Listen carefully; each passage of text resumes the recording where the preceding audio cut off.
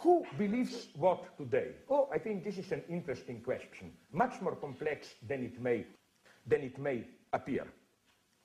The first myth to be abandoned, I think, is the idea that we live in a cynical era where nobody believes, no values, and so on, and that there was sometimes, there were sometimes more traditional where people still believed, relied of some substantial notion of belief, and so on and so on. I think it's today that we believe more than ever. And as Pfaller develops it in a nice, ironic way, the ultimate form of belief for him is deconstructionism. Why? Again, I'm going back to that question of quote marks, no? Like, look how it functions, deconstructionism, in its standard version already at the texture of style.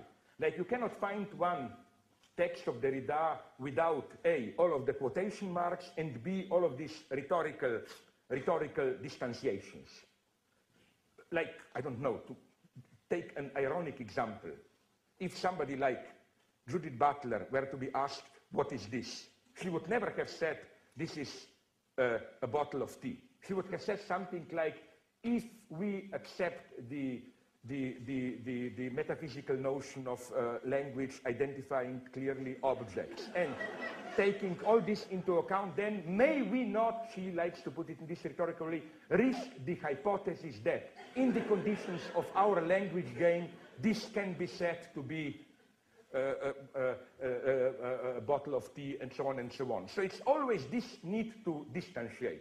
It goes even for love, like Nobody almost dares to say today, I love you. It has to be, as a poet would have put it, I love you, or some kind of a distance. But what's the problem here? The problem is that, uh, why this fear?